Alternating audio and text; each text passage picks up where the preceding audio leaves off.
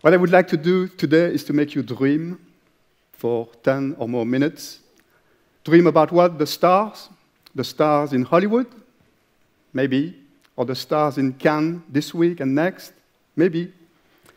What about the stars in the deep, deep, dark space? Maybe too, by the title of my presentation.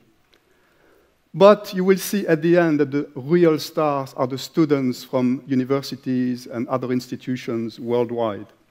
So my trip is going to take you from Sputnik to OUFTI, the nanosatellite built here at the University of Liège, and we are going to go through Beanie Babies and CubeSats, and you probably wonder why. I would like to start my trip at the end of World War II. It's the Cold War, tension between East and West. Stalin dies in 1953. Eisenhower becomes president in 1953 also, and that eases the tensions. And the nations of the world, all of them except for China, decide to have this International Geophysical Year, which is a, a scientific program involving all these nations. And since we are in Liège, the city that's behind me here in white, I should say that the president of the IGY was Marcel Nicolet, who got a PhD in astrophysics from our university in Liège here. And 1958 was also the year of the International Exposition in Brussels. What is very interesting about 19, you know, this period leading to this year was that Eisenhower said that the US would put a satellite in space but the Russian actually surprised everyone by sending Sputnik in October 1957 during this uh, famous you know, in, uh, scientific year. That's a sphere of 60 centimeters, about 83 kilos, just to give you an idea, the first satellite ever in space. And one month later, the Russians did it again by sending a two meter by four meter satellite in space with the dog Laika in it, who survived for, I believe, two hours instead of, you know, 10 days uh, as was scheduled. And the Americans tried to react by sending Vanguard Test Vehicle 3 the next month, December 57, but the rocket exploded on the launch site. I draw your attention to the size 16.5 centimeter and 1.4 kilo. It's pretty close to the size of our satellite. Finally, the following month, January 1958, they succeed you know, in putting Explorer 1 in space, once again 16 centimeter by 1 meter and about 14 kilograms. What's really amazing to me is that three years later, ham radio operators put together, probably in their garage, a satellite about 30 meters on the side and sent it to space, 1961. It's the Oscar satellite. Now, since time is moving, I have to fast forward 30 years of satellite construction and launches, and I want to talk very briefly about big satellites. A big satellite launch in 1990 is the Hubble Space Telescope. It's 2.5 meters by you know, 13 meters, 11 tons. Another example is the International Space Station, you know, 100 meters by 70 by 20. Of course, it was sent in several pieces. You can see the space shuttle here. And, but the biggest of all, you probably have never heard about the biggest of all satellites in space today. It's the so called USA 233 or NROL 32, launched in 2010. It's started to be the largest uh, satellite in the world. It's operated by the National Reconnaissance Office, NRO, for the CIA, and that's one of these satellites who is listening on to your phone conversation and I can tell you that the engineers you know, are wonderful. They do a wonderful job. This is state-of-the-art electronics, software, and so on. They have antennas. That's what they say. You know, I don't know if, if that's true. 100 meter in length. So I cannot tell you much more about this because this is probably not you know, public information. In 1995, there was a rebirth. You might say, what is this rebirth? Well, Stanford University decided to launch, not a satellite, but a program to teach engineering students how to build satellites in two years. Why two years? Because that's the duration of a master program at Stanford. and they wanted to take the students from scratch to a fully operational satellite and then launch it. And the hero of this story, you know, the professor who was hired is Bob Twiggs, you can see here in the picture. And he worked in the uh, building on the right side, which is the Durand building, where the Space System Development Laboratory was located. What's amazing to me so many years later, you know, more than 20 years later, is that my office was in that building too.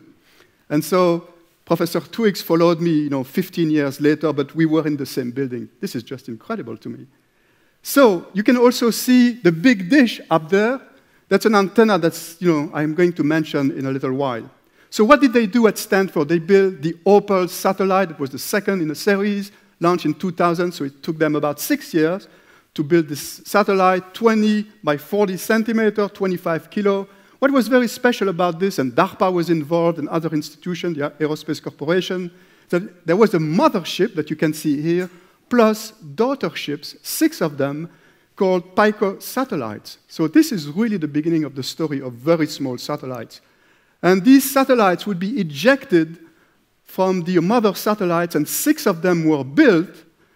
And you know, the size was three by four by one inch. You know, we are in the US. It's 7.5 by 10 by 2.5 centimeter. I was looking at in my home, you know, for object about the same size. This is a phone, you know, by the company that you can actually take a bite of. So this phone is 6 by 12. It's about the same area and 1 centimeter in thickness. So these Pico satellites were about the size of this phone, two of them and a half superposed. So this is the size of the uh, telephone that were built by students at the University of Stanford under the leadership of Bob Twiggs. So you can see here example, there were six of them, two by the Aerospace Corporation, tethered, meaning that there was a wire between them. They were you know, full of electronics. Keep in mind that's the size of my phone, and it's 1996, 2000 technology. And there was a group of women, six women, who actually built three satellites one the size of two of these phones, and two double size, you know, instead of 20, 10 centimeters, they were 20 centimeters in length. And actually, one was named after me, but that's just a coincidence. Jack is the small, smallest of these satellites. Now, this, there was one more satellite, the STENSAT, you know, same size like the uh, phone I just showed you. But as Professor Twiggs liked to say, this is the size of the Klondike ice cream bar. And I remember in the US eating those kind of ice creams, and I don't know if they are known here, but the Klondike is the gold rush in Western Canada. Now, I talked to you about the big dish. Actually, when they launched these satellites, they were so small. Remember the, the size of my phone up in space that, you know, the students at the University of Stanford, you know, in the normal ham, uh, amateur radio station could not really connect with them. So they used the big dish that was built in 1966 for the Air Force and it's located in the foothills of the you know, beautiful uh, Stanford campus. So the, the big problem then was for you know, what, what to do next. These satellites, the Pico satellites, you know, like my phone or two of them, are really too small to put you know, solar cells on all the, the sides of them. And the big one is too big for students to do in two years because there's so much space and you can put a lot of stuff in them. So Professor Twig, Twiggs was actually looking for a solution. You know, he can really be considered as the father of nanosatellites, and I put educational in parentheses because that was his main task, you know, education for the young students, for the engineering students at Stanford. So this is where the story of Beanie Babies comes in. I don't know if there were, you know, Beanie Babies were sold in, in, in Europe at the time, but certainly I bought some for my children in the US. And you might say, you know, are these going to be uh, the pilots of the satellites? No, no, not at all. But what is very special is that you can buy a box to put these beanie, babies in, so-called beanie baby box. And Professor Twiggs says that this was the inspiration, you know, the size of the beanie baby box, 4 by 4 by 5 inch, 10 by 10 by 12 centimeter, was the inspiration. This, he said, this is the size, this is the ideal size for a student uh, satellite that you could do in two years. So you know, the concept was proposed at a conference in Hawaii in 1999.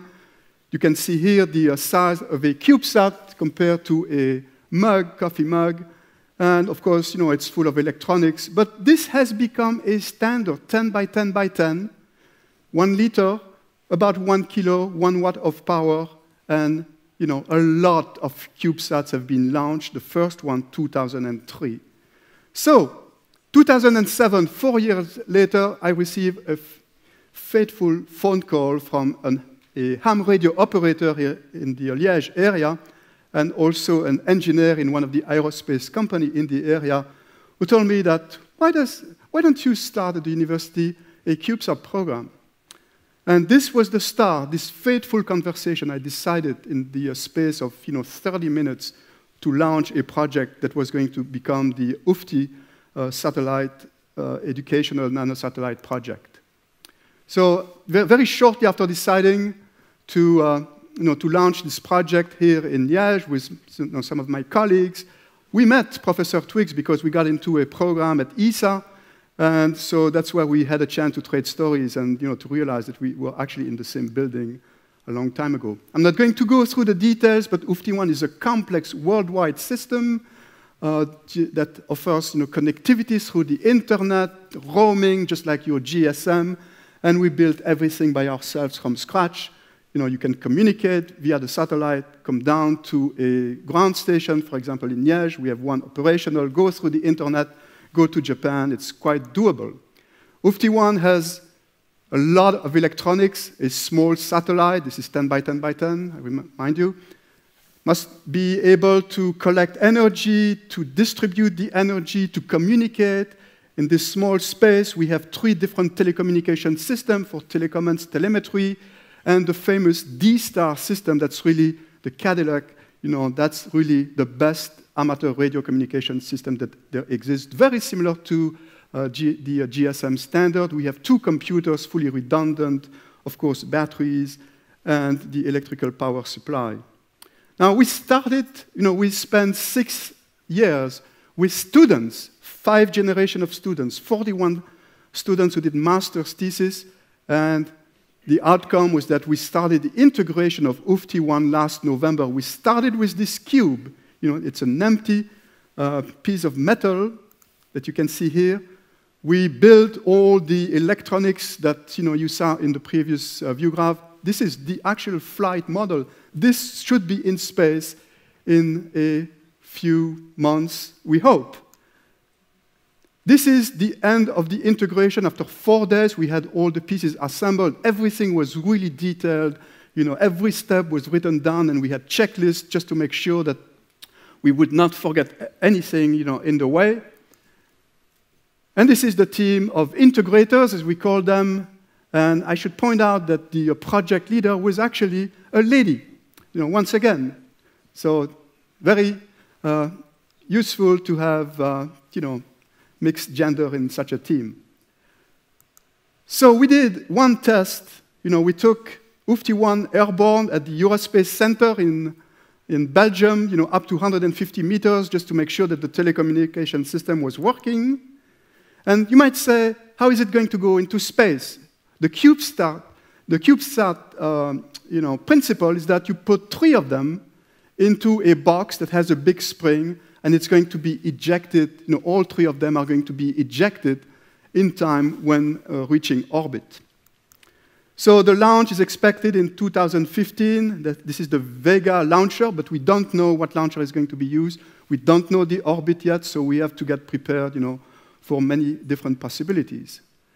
I said at some point, this is uh, mainly an educational project. We are already satisfied, you know, fully satisfied with the process. You know, more than 40 students, master students, wrote their thesis. You know, all the brain the, uh, the gray matter of the project is in 41 or 45 master's theses. You know, it's a pile this high. We got a lot of awards. This is our you know, Belgian um, astronaut with Jonathan Pisane, who was a, the first student to work on the telecommunication system and on OUFTI-1 in general. And he just finished you know, last year his uh, PhD here at the University of Liège. So, This is my last slide. Big innovations start small. And I didn't make this up. This is a quote from the National Reconnaissance Office CubeSat programs. Believe it or not, the company who has sent the biggest satellites in space has a CubeSat program. And even though when you know, we decided to launch this project at the University of Liège, a lot of the scientists said, well, you know, this is a toy satellite. You know, these engineers are having fun once, once more. But now I can tell you, not only this satellite OUFTI-1 will be doing a lot of first, first D-Star system in space, the first CubeSat built in Belgium, the first satellite integrated at the Centre Spatial de Liège. So, you know, even though it's, uh, you know, it remains an educational project, and we are, you know, the project, the concept of CubeSats is now very well respected by scientists all over the world. So we have really started here a trend in Belgium you know, by, by fighting against the odds, by working on a small satellite, and now we are you know, completely respected in that regard. So I thank you very much.